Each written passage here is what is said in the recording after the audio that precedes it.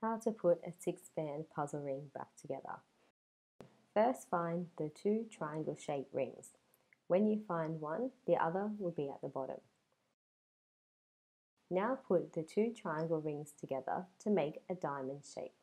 Once you have the diamond shape, look at the rings. One of them will sit a little bit higher than the other. This ring has to be on the right hand side. You need to make sure the two curly rings and the two straight rings align perfectly together.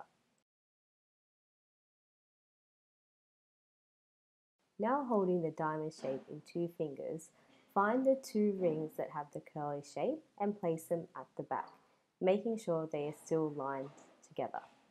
Once these rings are at the back, place them on a diagonal sloping downwards and hold them with one finger across the back of the rings.